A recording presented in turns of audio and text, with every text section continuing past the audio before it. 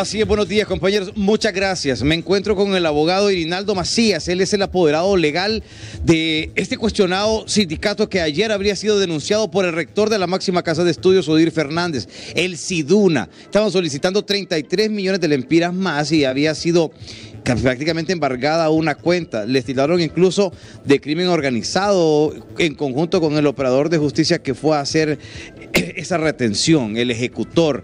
Abogado, ¿ustedes han parado en qué es que están solicitando todo esto y la formación del sindicato, la cuestionario, está, está formado desde qué año? El sindicato está conformado legalmente desde el año 2013. Se constituyó y se registró en el, en el, en el Ministerio del Trabajo y también su junta directiva todos los años que corresponden se legaliza. Todo está bien legalizado y en relación a la ejecución de, esa, de esos dineros de ese se trata del cumplimiento de una sentencia emitida en el año 2014 por la Sala de lo Constitucional en el año 2014 y se envió mandamientos a las autoridades eh, universitarias a fin de que dieran cumplimiento solicitando el fallo expresa claramente que es el traslado de todos los docentes de la Universidad Nacional Autónoma de Honduras del 1% que la universidad le deduce a cada docente universitario.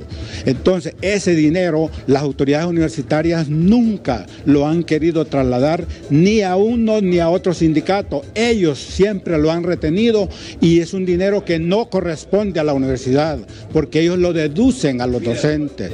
Por tanto, no es cierto de que se trate de un crimen organizado, es un fallo que se le está solicitando a la universidad que dé cumplimiento, pero ellos quieren interpretar esa sentencia a la manera de ellos, como que si ellos fuesen jueces para interpretar la sentencia. La sentencia la interpretó la Corte y es el ente autorizado para eso.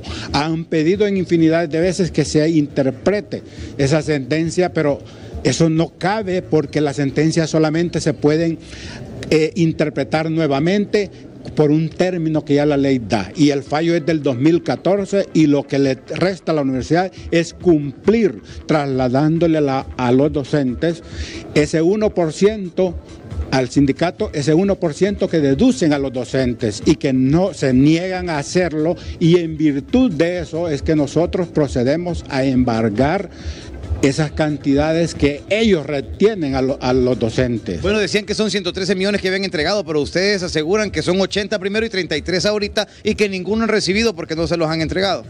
Se han embargado 80 millones en dos partes del 2014, del 2014 al 2019, del 2019 al 2000, eh, creo que 2020 y otra parte que está embargada porque continúan denegando, negándose a cumplir esa sentencia.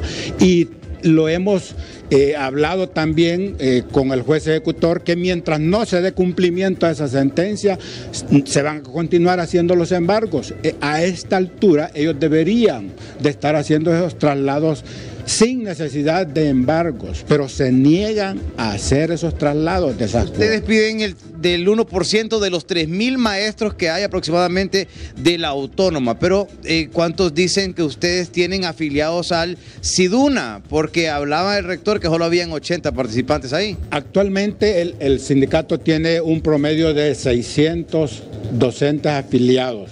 Se organizó con 80 docentes, con eso se constituyó tal como lo dice el Código del Trabajo.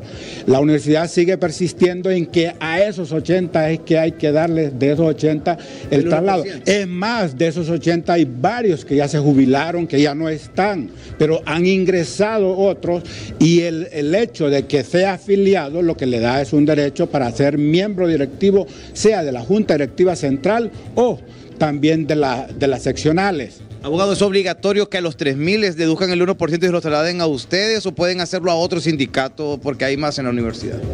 Si el docente lo manifestara, pero no obligado, como ya lo hicieron ellos en una vez, que mandaron a, los a, que los docentes firmaran notas diciendo que no le iban a trasladar eso al SIDUNA y lo hicieron de una manera coercitiva, no lo hicieron de una manera que el docente debe de expresar si es cierto que no quiere o quiere.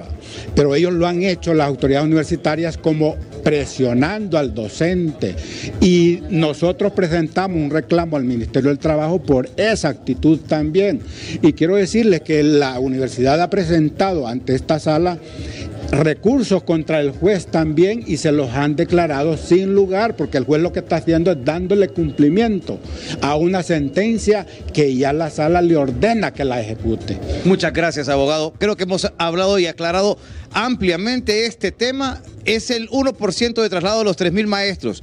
Si el maestro no quisiera que le trasladen al CIDUNA, tiene que enviar una nota diciendo que quiere que se lo trasladen a otro lado, pero mientras no lo haga, le corresponde por los estatutos eh, con el que fue creado y por el marco de la legal que se lo trasladen, aseguran su representante legal, Heriberto Macías, el abogado que hemos nosotros abordado acerca de este tema que causó revuelo por la denuncia que puso en el Ministerio Público el rector de la universidad, Odir Fernández. Con cámaras de René Martínez regresamos a estudios de HCH Televisión Digital.